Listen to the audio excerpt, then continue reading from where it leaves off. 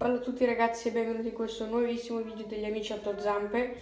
In questo video magari sentite un po' di rimbombo perché sono nel mio bagno e se sentite delle voci strane è mio fratello, è colpa sua, prendetevela con lui.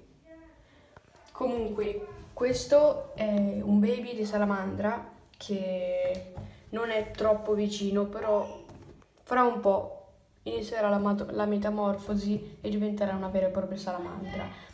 Volevo parlare di questo esemplare in particolare eh, che è il mio, non vi avevo ancora aggiornato del fatto che lo prendevo, vi avevo aggiornato sul fatto che prendevo un tritone, poi ho cambiato, ho deciso di prendere una salamandra.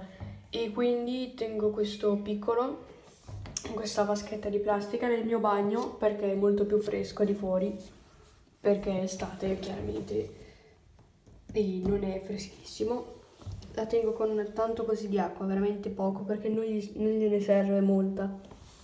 Anche perché per cacciare poca acqua è meglio. Detto questo, eh, volevo parlarvi anche di come tenere questi piccoli perché non è troppo semplice come si pensa. Per esempio, non si può usare d'acqua di, acqua di rubinetto, cioè si può usare a patto che venga fatta decantare significa lasciarla in un secchio anche per esempio in un coso di plastica come questo per 24 ore in modo che tutte le sostanze chimiche presenti nell'acqua evaporino e l'acqua sia bella pulita e perfetta per il nostro animale.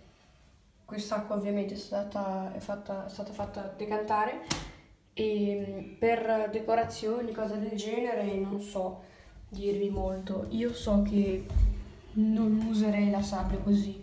Queste cose però non ve le so dire. Io preferisco tenere un substrato nullo, cioè solo la vasca, nessun substrato, un paio di rocce per fornire un riparo, per anche un pochino estetica. Però il substrato non è affatto necessario, quindi potete tranquillamente non usarlo.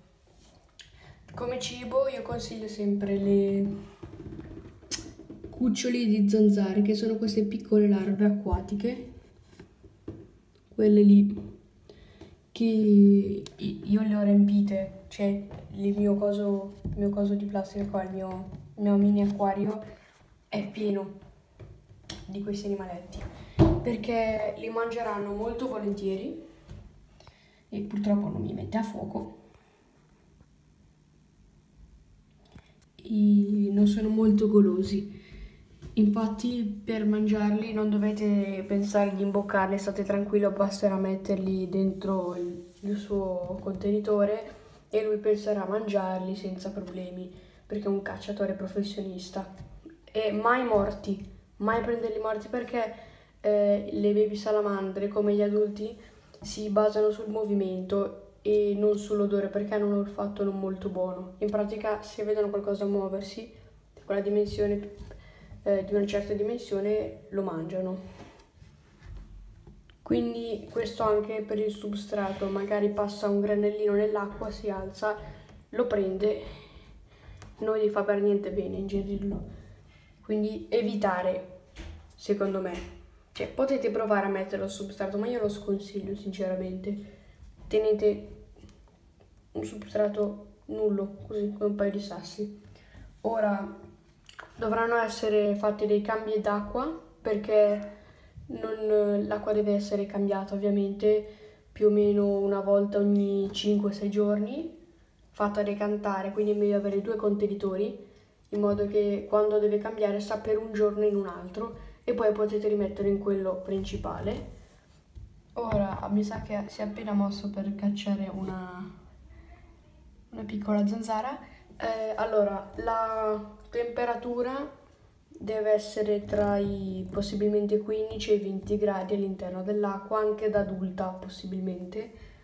Se supera i 20 gradi potrebbe esserci una metamorfosi precoce, significa che cambia subito di corpo ma troppo velocemente.